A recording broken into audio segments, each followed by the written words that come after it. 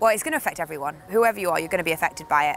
And I feel like the great thing with the climate change group is that you don't have to know about it already. You don't have to be a geographer. You don't have to be a scientist. You can just come onto it and be opened up to the world of climate change solutions. Hello, I'm Peter Cox. I'm a climate scientist based in mathematics and I'm the overall academic lead for Grand Challenges. Hi, I'm Jim Haywood. I'm leading the Grand Challenge on Climate Change this year. I'm Anna Harper. I'm a lecturer in climate science in the mathematics department.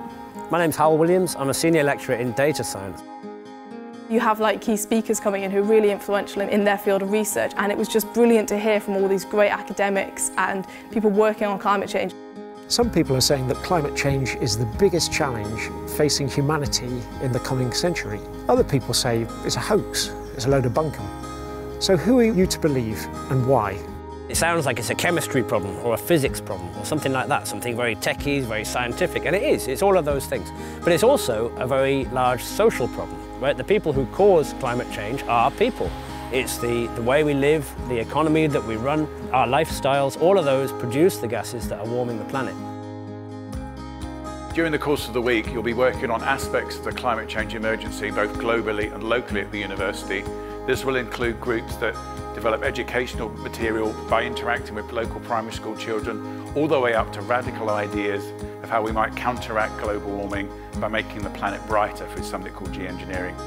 Also got a group looking at the critical issue of the interaction between climate change, human health and human well-being.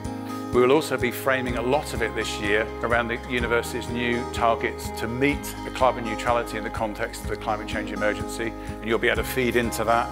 You'll work in your teams to produce some kind of output and you decide what the output is. In previous years, people have made board games, they've made apps for a smartphone, videos, all sorts of different kinds of output, anything you can think of, anything that you think will, will tell your story really well. So you can learn about climate change, but in a fun way and taking action rather than just being lectured at. And at the end of the week, you pitch your ideas to a group of your peers and to an expert panel.